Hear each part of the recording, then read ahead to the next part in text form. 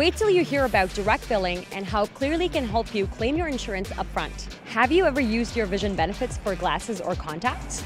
Have you? Does anyone actually do that? What if we told you that you could claim your benefits online in the Clearly checkout?